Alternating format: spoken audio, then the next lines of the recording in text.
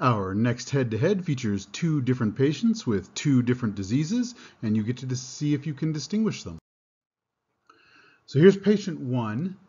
Right? This is the mass we're interested in. It's an enhancing mass.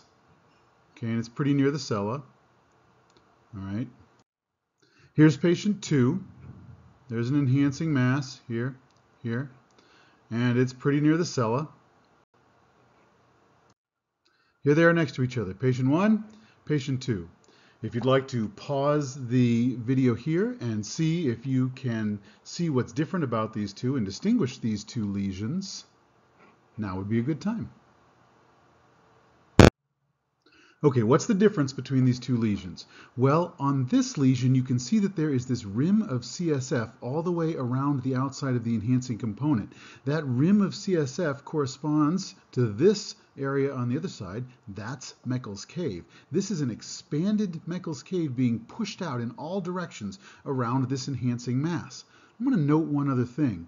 The cavernous segment of the internal carotid artery has been displaced anteriorly on the side of the lesion. See, that's more forward than its counterpart.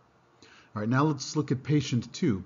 In this mass, Meckel's cave is spared. This mass is anterior to Meckel's cave, not inside Meckel's cave, and it looks like it's pushing the internal carotid artery more posteriorly right? So this is more anterior and more medial than this one.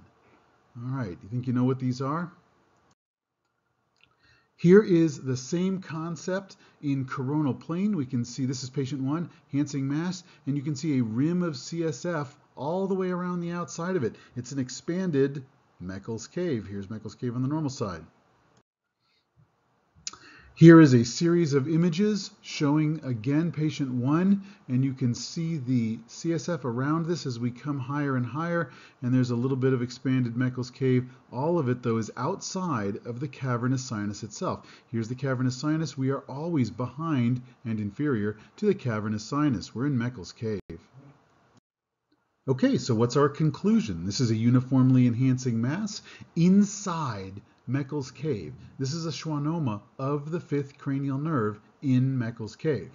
This is a schwannoma anterior to Meckel's cave within the cavernous sinus. This is an abducens schwannoma, a sixth cranial nerve schwannoma. Similar, but very different clinical implications.